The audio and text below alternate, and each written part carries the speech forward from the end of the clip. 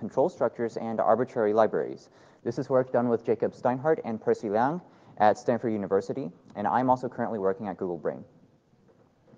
So let's unpack this title a bit and situate the project within the broader research area. In program synthesis, we, uh, the user describes a program that they want, and the synthesizer automatically produces a satisfactory program. And in our case, the user is going to give us input-output examples, and we need to find a program that has behavior consistent with those examples. So program synthesis is uh, a, an active area of research. However, many prior approaches have some, uh, some qualities that might make them less suited for general purpose program synthesis. So in particular, uh, many approaches um, use domain-specific knowledge to do very well on a particular class of problems, but they don't necessarily generalize to other domains. Some approaches use uh, only uh, predefined operations, and some can't scale if there are many different operations. So these approaches can't handle large libraries that programmers actually want to use. And finally, uh, some approaches do handle control structures, but in fact, many don't. So FrAngel is a component-based program synthesizer, which means the user provides libraries of functions and classes that can be used in the program. And because of this, the approach must generalize to handle APIs in many domains, and it should scale to handle many different operations. Component-based synthesis is also very relevant in practice because programmers often spend large amounts of time learning how to use new APIs. SyPet is a prior work similar to ours. It's a, another component-based synthesizer for Java, and it uses uh, constraint solving to find sequences of function calls that will transform the input types into the output type. However, SyPet is one of the prior works that does not use control structures. And by control structures, we mean conditionals and loops. And loops especially have been a common source of difficulty in program synthesis. However, these control structures appear everywhere in real code, so we make it a priority to handle them well. This diagram illustrates our problem setup. The user is going to give us a Java function signature, some examples or test cases that illustrate the problem, and a list of libraries that can be used. Our synthesizer is called FrAngel, and it will search for a Java program that has the given signature, uses methods from the given libraries, and it has uh, behavior consistent with all of the test cases. So let's go through a concrete example. Let's say we want to synthesize a function called rotate q. This takes a q and the amount to rotate by, and it modifies the input q. For this problem, actually, uh, all of the necessary classes can be inferred from the function signature. So uh, in order to describe what rotating a queue actually means, the user is going to provide us with a variety of test cases. So if amount is zero, we don't modify the queue at all. If the amount is one, we're going to take the first element and move it to the end. If amount is two, we'll take the first two elements and move them. We also have uh, an edge case where the queue is empty and a stress test where we don't actually need to move elements a million and three times. It suffices to only move the first three elements. And uh, will actually um, discard programs that loop for too long on the examples. So this is how we make sure that we get a reasonably efficient solution. So uh, when FrAngel searches for a solution, it will also print out programs that work for some of the examples. And almost immediately we find that uh, if we remove an element from the queue and add it back to the queue, this will work for uh, the, the test case where amount is 1. And this code snippet is actually very useful because if we put it inside an if statement, we can also pass the empty q case. If we put it inside a for loop, we can pass other test cases as well. And by modifying this loop condition slightly, we can be more efficient and pass the stress test. And finally, if we put this code inside of the if statement from earlier, we arrive at a final solution. So notice that this uses a combination of control structures and four different Q functions. FrAngel is able to find this solution in about 10 seconds on average.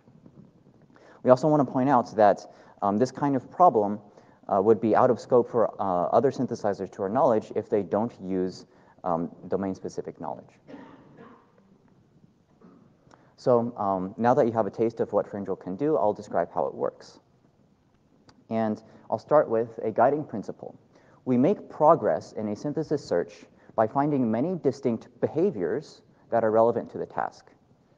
So in the rotate queue example, we wanted to move a certain number of elements from the beginning to the end of a queue. And it was easy for us to move exactly one element. And this simple behavior isn't exactly what we wanted, but is still very relevant to the task. And as we saw in the example, FrAngel is able to combine and manipulate these behaviors to find new ones.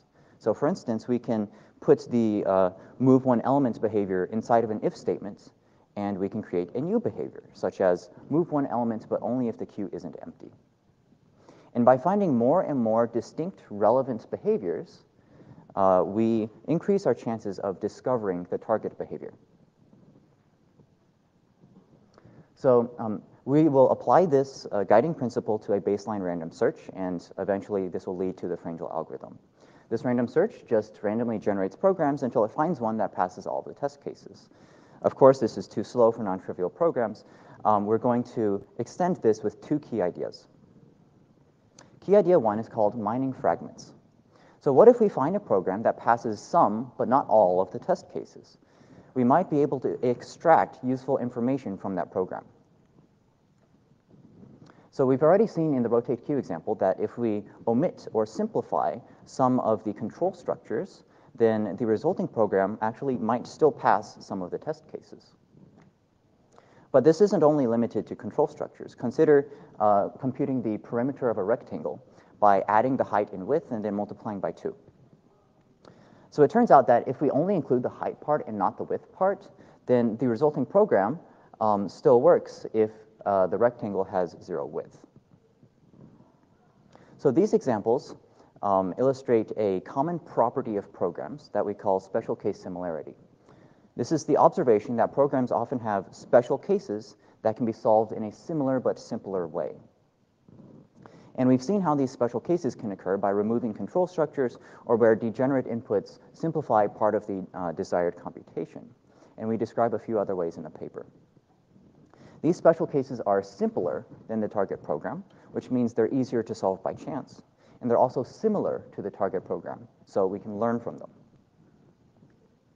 In order to use this idea of special case similarity, we're going to remember the simplest program for every distinct subset of the test cases. And in this way, we're going to maximize our chances of remembering and then learning from a special case program. So consider again the uh, rectangle perimeter problem. Let's suppose we've generated uh, both of these programs by chance. And they each pass a different subset of the test cases, so we'll remember both of them. The next step is to extract all AST subtrees from these programs. And this gives us a uh, set of code snippets that we call fragments. Finally, we're going to use these fragments when we generate new candidate programs. If we have uh, good fragments, then the probability of generating a correct program is much higher. And indeed, in this case, there are actually several ways of combining these fragments to produce a solution. So to summarize, we're going to remember a diverse set of programs that are likely to be relevant because they pass some of the test cases. And then by mining fragments from them, we can uh, more easily explore a space of larger programs that have similar behaviors. And rem- remember the guiding principle um, the more behaviors we can find, the sooner we'll land on the target behavior. So, this is the random search algorithm that we've improved by mining fragments. We're going to use fragments when we generate candidate programs, and whenever we find a program that is the simplest to solve some subset of the test cases, we're going to mine fragments from that program. But uh, this actually still has a problem, um, which is that control structures are hard. And this is because we need to generate the correct body and condition of the control structure simultaneously. And we tackled this with key idea two, angelic conditions. So instead of requiring the body and condition to be correct simultaneously, we're going to decompose this problem. We're going to first find the correct body, and then find the correct condition for that body. And we're going to use angelic execution to run a program even if we don't know what its control structure conditions should be. So here's an example. Um, this is for the rotate queue problem. And this program is an angelic program because it has two angelic conditions. And for intuition, you can think of the angelic operator as evaluating in the best way for each test case. So if the queue has five elements and the amount is a million and three, we can actually get the correct behavior by entering the if statement and then looping for exactly three times. And this describes a particular code path through this angelic program. This leads to angelic execution. For each test case, if we can find a code path that actually produces the correct output, then we say that the program passes that test case. So how might we uh, implement this search for such a code path? An exhaustive search would be exponen exponential time. So instead, we're going to enumerate and run about 50 code paths, prioritizing the simplest ones first. And in the paper, we describe an enumeration strategy that leads to a good ordering of the code paths with no redundant executions. So as the last step, once we find an angelic program that passes many test cases using angelic execution, we're going to resolve or fill in its conditions one by one. In order to resolve a single angelic condition, we're going to repeatedly replace it with a randomly generated Boolean expression. And then the resulting program might still have other angelic conditions, so we're going to use, again, angelic execution to run the program. And if it still passes all the tests that it used to, then we've succeeded for that sp- uh, specific angelic condition, and we can move on to resolve the next one. And in this way, if we're always successful, we'll end up with a concrete or non angelic program that still passes all of the test cases that it did originally. And this finally brings us to the FrAngel algorithm. We're going to generate candidate programs using both fragments and angelic conditions, and we will run programs using angelic execution. FrAngel will also attempt to resolve all of the uh, angelic conditions before mining fragments from any program. And uh, this strategy of angelic conditions once again fits with our guiding principle, because now we can take known partially correct behaviors and wrap them inside control structures, and this will allow us to find uh, more complex behaviors that are closer to the target. Now let's discuss some related work. I've already mentioned SyPet, which is another component-based synthesizer for Java. It uses uh, constraint solving, while FrAngel uses a random search with heuristics. Angelic conditions have been described previously, but they were used um, in the context of a development tool, and we use them here for synthesis. Angelic conditions are also similar to sketching, which is a, um, a popular technique where we leave holes in a program to be filled in later.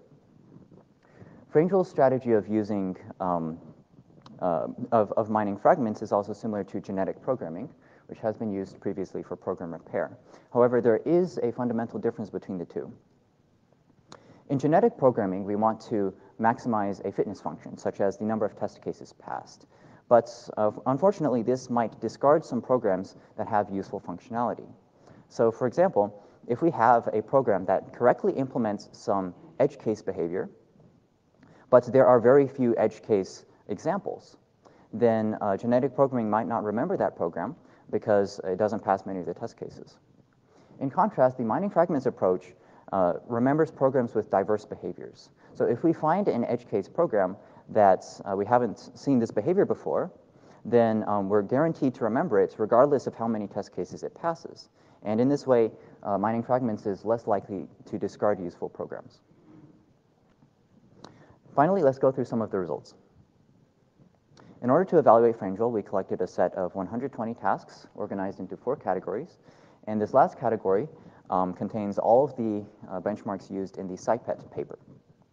And we can see that these benchmarks uh, contain hundreds to thousands of components that can be used by the synthesizer. And these, um, these tasks are specified using only a handful of examples. These plots show um, the percentage of tasks solved over time. And uh, FrAngel is in the bold blue line here.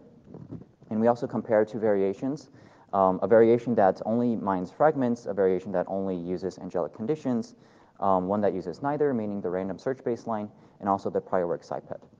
And we can see in these plots that FrAngel is consistently the best in our benchmarks. So on these simpler tasks in our benchmarks, FrAngel is actually fast enough to be used interactively. So on the top here, um, FrAngel is able to compute the bounding box around an array of rectangles in only four seconds. And on the bottom, FrAngel can rotate a point about the origin um, using a given number of degrees in nine seconds, even though um, in this case there are well over a thousand components. FrAngel can also solve some harder problems that can be tricky even for humans. So in this case, if given a swap operator, FrAngel can um, sort a primitive array using uh, three control structures in only 30 seconds. This task illustrates that FrAngel really can use arbitrary libraries. So um, this task is actually taken from an open source project, and it uses classes defined in that project. This sort of task would be very difficult for a human programmer who is not familiar with those specific classes. But um, in this case, because FrAngel doesn't use any domain-specific knowledge, this isn't a problem at all. In this task, uh, we want to compute the eccentricity of an ellipse. This involves finding the lengths of the long and short axes and then plugging into this formula. So I wrote this benchmark, and um, when I tried to solve this problem, this was my best solution. I did notice that there is some code duplication, but uh, whenever I tried to remove this duplication, I ended up making the code longer overall. So I, I truly thought this was the shortest a solution could be. And then here's a comparison between my solution on top and FrAngel's solution on the bottom. And at first glance, um, it's not clear what this is doing. Like, why is there a cosine here? There's a cosine here. Um, and it turns out that FrAngel is actually applying a trigonometric identity. And uh, by applying this manipulation, the code just becomes so much simpler. So indeed, in this case, FrAngel's code is better than mine. In conclusion, I've presented FrAngel, which is a Java program synthesizer that can use um, control structures and arbitrary libraries. And it does this with two key strategies. It mines fragments so that it can learn from partial successes, and it also uses angelic conditions to decompose the synthesis problem when control structures are involved. And these two strategies allow FrAngel to uh, take known behaviors and manipulate them to create new behaviors. And by creating these behaviors, um, we're able to make rapid progress in the synthesis search. And as a final note, all of the code and experiments are available online. Thanks, and I'm happy to take questions.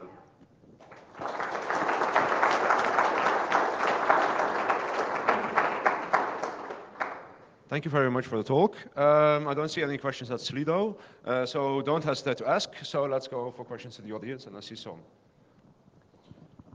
Uh, hi there. Is there any particular uh, class of problems that is uh, more difficult you've found in practice to uh, synthesize using smaller, correct um, pieces of code? Yes. Um, so one key idea in FrAngel is that we're going to use the test cases to gain signal when we're correct for some of them. And uh, this is really hard when, um, for example, you want to have some function that returns a Boolean because then you can have whatever computation you want and it's going to be correct for about half of the examples. So it's harder to get signal from the, uh, from the examples in that way. Okay, can we have more questions from the audience? If you have questions, please come forward.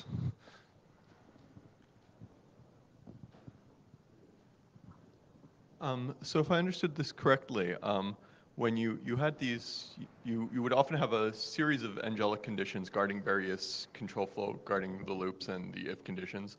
And you would, um, once, you know, this, these angelic conditions were enough to um, solve, the, solve the inputs, um, you would try to um, fill them in sort of in a linear order. You would fill one in, and then you would proceed to the next, yeah. and so forth. But I and, and that should, I imagine, lead sometimes to a problem where you fill in uh, one angelic condition with something that isn't quite ideal, but it, the second one can still pass, and then you sort of proceed down a, a unfortunate path. Do you have like clever techniques for sort for backtracking and for deciding how to what order to fill in the mm-hmm. angelic conditions? Um, we don't do full backtracking, but um, we did notice this problem.